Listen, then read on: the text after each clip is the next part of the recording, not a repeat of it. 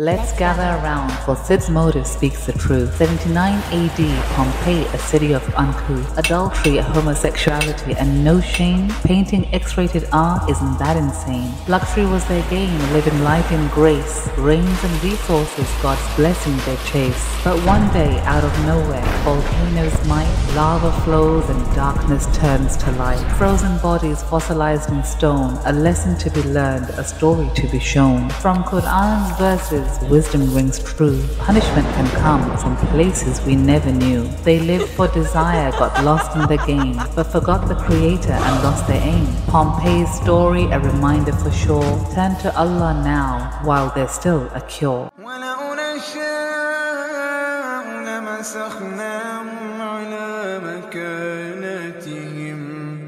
فما استطاعوا مضيا ولا يرجعون